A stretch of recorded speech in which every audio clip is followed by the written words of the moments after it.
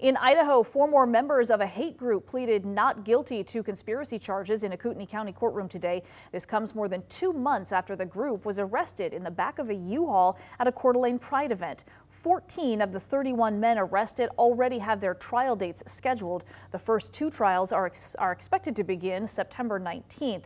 The crime is punishable by up to a year in jail, as well as a $5,000 fine and up to two years of probation.